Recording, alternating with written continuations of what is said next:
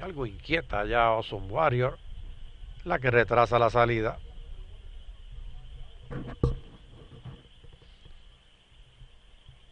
Seguimos esperando por esta séptima prueba. Ya abren las compuertas y están en carrera.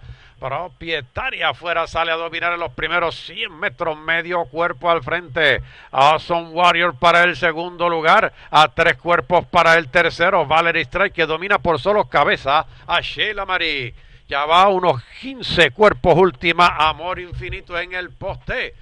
De los 900 metros, propietaria un cuerpo al frente, Awesome Warrior afuera para el segundo lugar. A tres cuerpos sigue la lucha para el tercero entre Valerie Stripe afuera y Sheila Marie junto a la valla interior en el poste de los 600. Awesome Warrior aprieta el paso afuera, le está dando alcance a propietaria en los 500. A cuatro cuerpos en el tercero, Valerie Strike, ahora descuenta terreno rápidamente. Entrando en la recta final, Awesome Warrior, dos cuerpos al frente, Valerie Stripe. Afuera pasa al segundo y ataca. Aquí en los 250 metros finales, Awesome Warrior, tres cuartos de cuerpo en la delantera. Valerie Stripe ataca la parte de afuera. Awesome Warrior se mantiene con medio cuerpo aquí en los 75 finales. Sigue por el pescuezo. Awesome Warrior ataca Valerie Stripe. Awesome Warrior adentro. Tremendo final.